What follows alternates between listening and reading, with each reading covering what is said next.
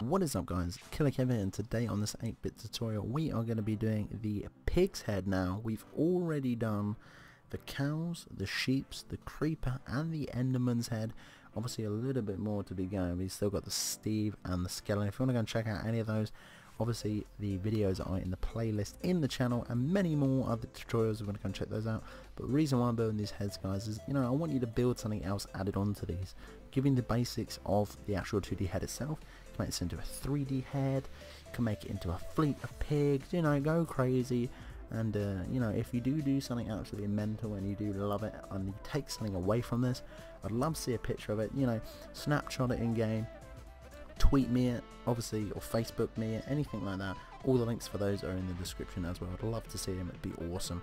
So I'll give you a rundown of the colours you're going to need using for this 2D pig's head. You're obviously going to need that sexy pink wool, meaning that white wool, or the wool. I normally call it white wool, I don't know why, but it's just a wool. The white stained clay, which is a little bit different. Purple stained clay, we're not going to need a lot of these, you're just going to need a little few and the same thing as well, even a little few on the black wall as well. So as always guys, I never build anything on the floor because it just looks horrible. To build it all the way up there, nice and elevated, make sure it's nice and high so everyone can see your pig. Everyone can see your piggy. Make it nice and high. So you want to start a block of one pink. Now what we're going to do is go from left to right and then the next layer coming from right to left, left to right, then right to left, left to right and just keep going zigzagging all the way up to be a completed pig's face.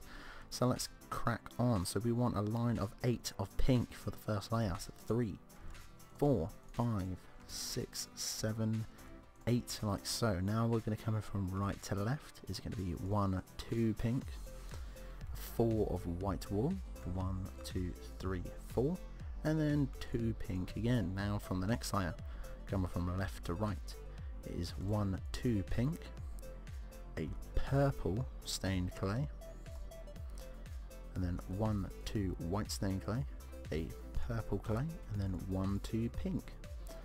Now from the second of the fourth layer, from right to left, is two pink and four white wool, one, two, three, four, and then one, two pink.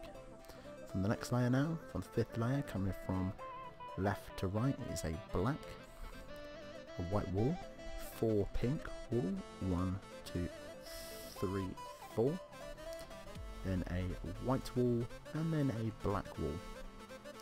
Now, all we need to do now is come three up high, so go one, two, three, exactly the same thing on the other side as well, from the blacks, one, two, three, and what we're going to do is just bring every other layer up to that level, so obviously the rest of this just his head, fill it in with the pink like so, there we have it guys, oh, he's missing a little chunk up there, there we go, there's the little pig's head.